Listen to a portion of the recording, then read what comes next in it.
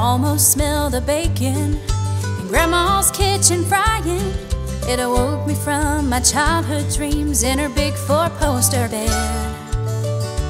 I'd run down into her kitchen and sit down at her table. Cause the best part of breakfast was when Grandma bowed her head.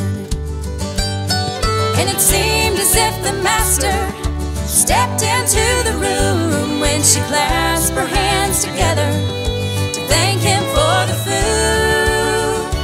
Then she'd smile at her old Bible and tell me something Jesus said. Oh, the best part of breakfast was when Grandma bowed her head.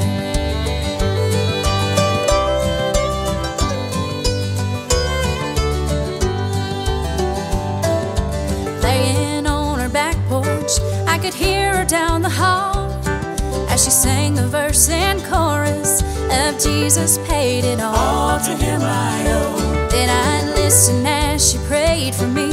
Lord, save her precious soul.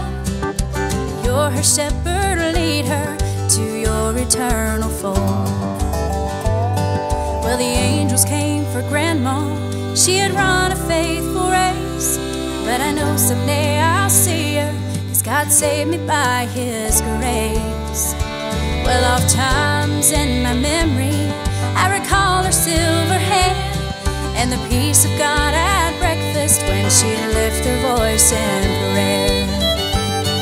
And it seemed as if the Master stepped into the room when she clasped her hands together to thank Him for the food.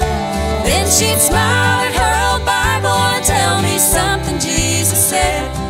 Oh, the breakfast was when Grandma bowed her head.